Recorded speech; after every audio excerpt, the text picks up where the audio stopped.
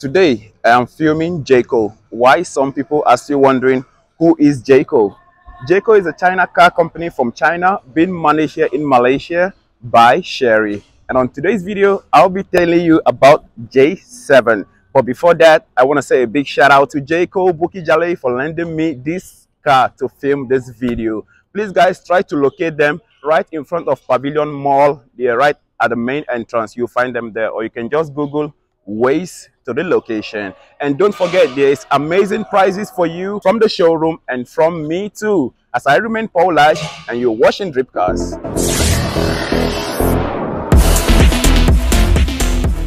How far guys, I'm so happy and excited to unbox this lovely and amazing, attractive looking car, Jaecoo.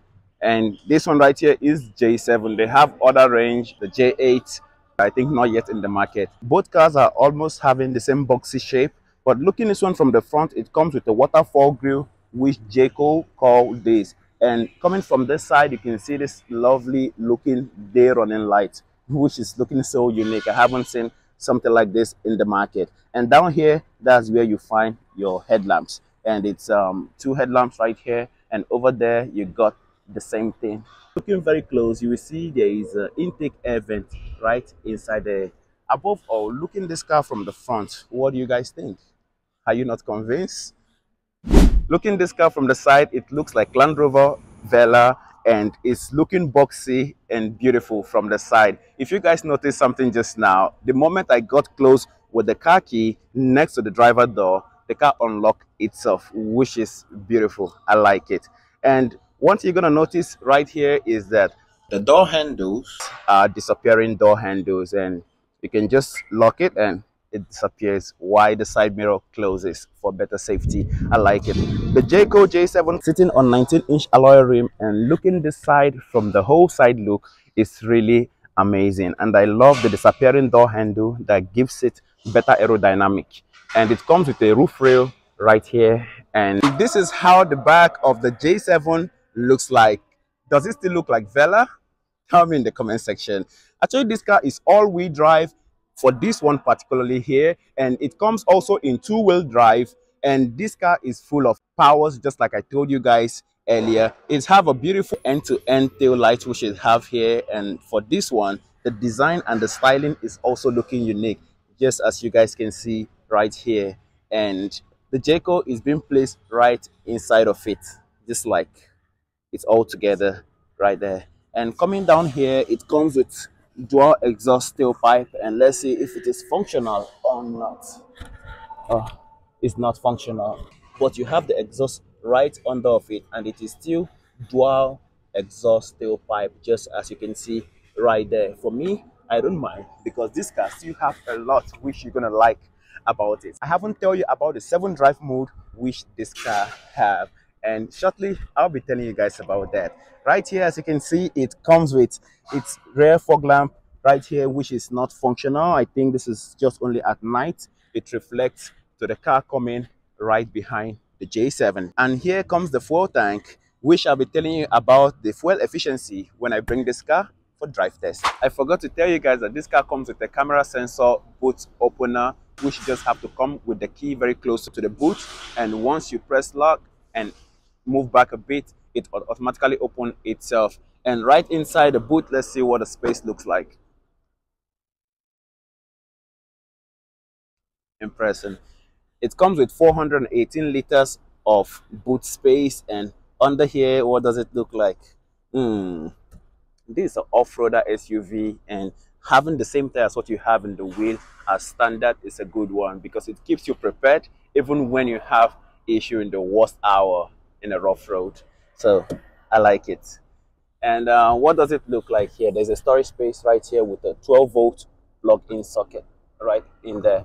And it even come with LED light from the mirror and it have anchor hook right here, which you also have the same thing over there. And over here, you still have the same um, storage space and uh, storage space right here also. I think you can even open here. Let's see okay you have your repair kits right over there and some at the back. All right and if you even need more space you can actually fold the rear seat to get more large room space. And for sure you can always keep your things safe and and cool in there. I like it one interesting thing about this boot space that you see right here is you can actually set the opening range which you want and it's so good for short people just like me. This video can't be complete if i don't tell you guys about this car engine capacity and showing you what it looks like. Oh i forgot. It's a double lash. One more. Okay let's see. Are we there we have 1.6 liters TGDI engine plus 7 DCT and this car is running on 200 horsepower 300 newton meters of torque and those powers is shared to the four wheel as you guys all know this is a four wheel drive and that is a lot of power for a mid-range like this. That is a lot of power and which is good. All right guys let's check out what the interior of the j7 looks like oh i haven't even seen it. It feels luxury in here. And i like it. Whoa! i like that luxury welcome package which you get from the the seat. Before i continue this video let me tell you guys one thing which i like in the interior of this car. Just one of the things not just only that but let me show you guys this which is the voice command which and it's so responsive. Hello Jaecoo. Open sunroof.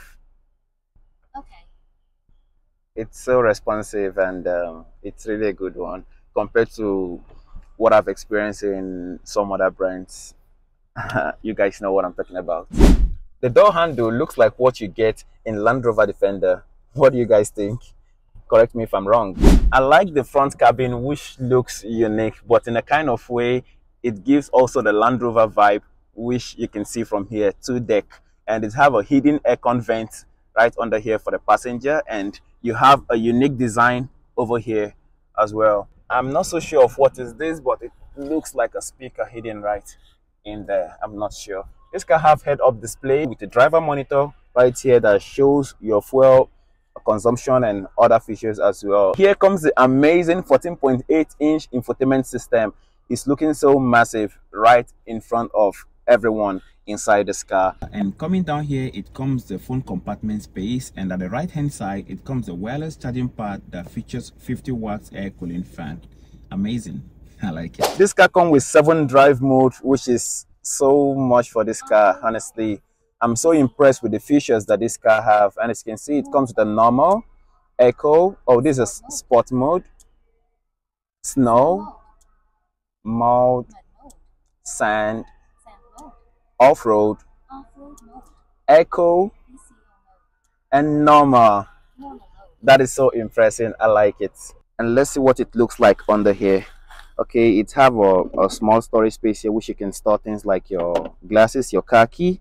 And inside the armrest you have a cooling fan here that feels so cool you know to store your cold drinks.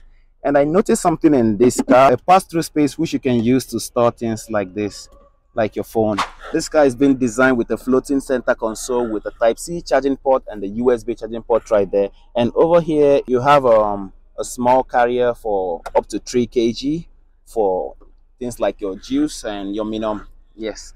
And right under here there's a the space is massive here. It's all good.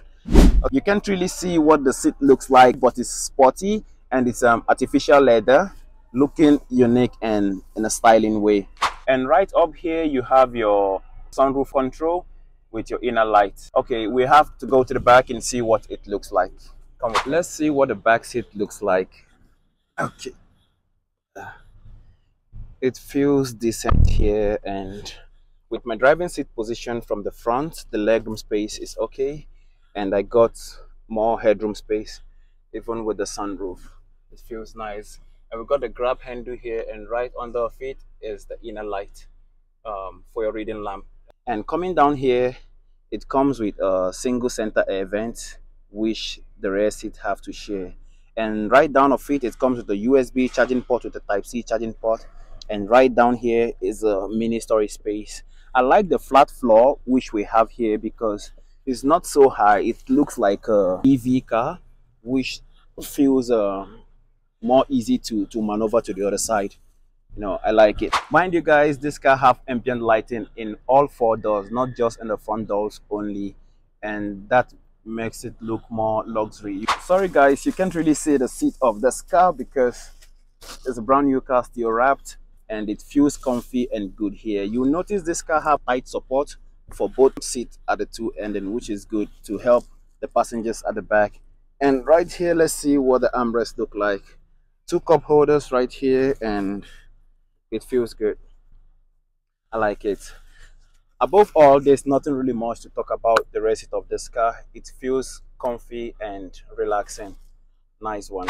Talking about safety features in the j7 one of the features i like is the eye detector sensor which you have right in front of the steering wheel in front of the driver and this helps you to keep you uh, maintaining focus to your driving. And also have a head-up display that shows the speed limit you're running on. And it also show the track. And um, other things i like about the interior is the cooling fan which you have down here for your phone. You know it's always hot down here in malaysia. And having such feature like this close to the charging port would keep your phone more cool you know when driving or charging under the hot sun the road is a bit busy right now but i would like to see what the sport mode feels like which um. Can you guys really see it let me see if i can even do that manually with my hand um and this is sport mode Sport mode. can i Go ahead. okay let's see I'm really impressed with the J7 takeoff speed and the transmission feels smooth. I like it. This car also features high-speed cornering assist, which is pretty good for this car, and it also have a very good turning radius, just as you can see right here while testing it in this neighborhood. There's a lot more which you're gonna like about the J7, which I can't even tell you guys all right now because this car is loaded. You will like it, trust me. And if you want to test drive the all new J7, you are welcome. I would recommend Jaecoo Bukijale. Those guys are amazing and their hospitality is welcoming. At this junction, I will leave you guys as I hope to see you on my next video. And before I go, I will leave you guys with one reason why I like the J7. I like the confident look from each angle of this car. And I love the four-wheel drive for off-road which you get in this car and you won't find it among its rivals in the market and you will love it. And for me, I like it. That meant Paularge, and you just finished watching Drip Cars. Bye bye.